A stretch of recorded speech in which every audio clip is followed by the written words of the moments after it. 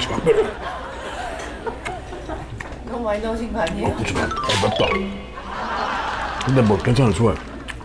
정말 따로 이렇게 먹어보고 즐기고 싶어요.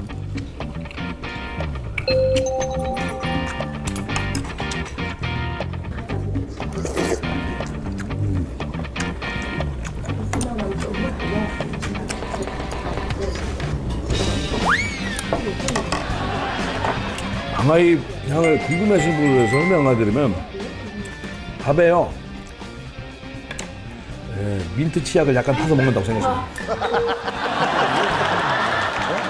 제 취향이 뭡니까? 아니 표현을 해주려니까 가장 비, 비슷한 게 민트 책밖에 없어.